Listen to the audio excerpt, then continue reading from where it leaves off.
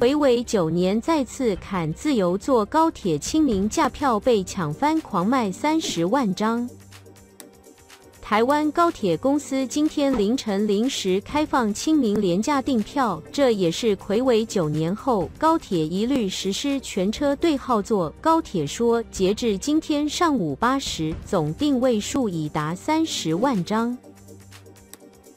不少网友也在 PTT 上分享抢票状况，有网友抱怨，因为少了自由座，所以网页很卡，质疑高铁在取消自由座时有无考虑过瞬间流量会跟之前廉价有差异。不过，也有网友表示，App 购票相当顺畅，三分钟内来回票就搞定。还有网友说，购买回数票有收到高铁寄的简讯与推播，所以知道这。次取消自由座已有心理准备。民众陈小姐表示，她平常廉价会从台北回高雄，所以都会选择搭高铁的自由座。昨天虽然一开始没有订到票，但后来多试几次就有了，能够谅解台湾高铁基于防疫需求采取全车对号座。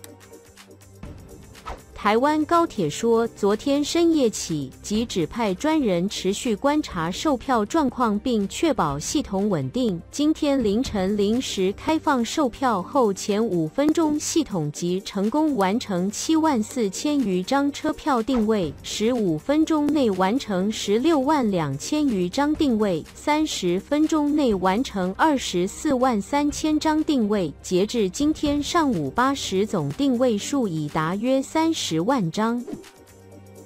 台湾高铁表示，已完成定位之旅客，若三天内未完成付款，座位将会释出。建议尚未购得所需车票的旅客，届时可再次尝试定位。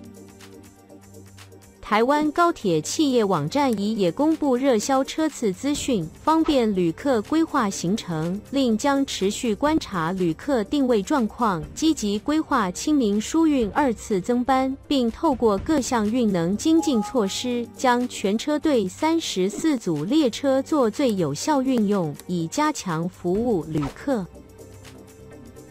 配合防疫，台湾高铁两千零二十清明假期疏运四月一日到四月六日，所有车次一律实施全车对号座，暂停定期票、回数票、悠游卡或一卡通联名卡使用，以降低感染风险。疏运规划加开一百八十四班次列车，南下七十九班，北上一百零五班，总计六天提供一千零五十班次列车。一百零三万八千四百五十个座位的旅运服务。高铁自二零零七年一月五日通车初期，并无自由座，均为全车对号座，直到同年十一月十二日才推出自由座。后因金融海啸影响，自二零零九年元旦疏运起实施疏运期全车对号座，在于同年七月起扩大至周五至周日全车对号座，如此持续一年后，至二零一零年七月起配合定期。其票及回数票之推出，才终止实施全车对号座，改为每天都有自由座。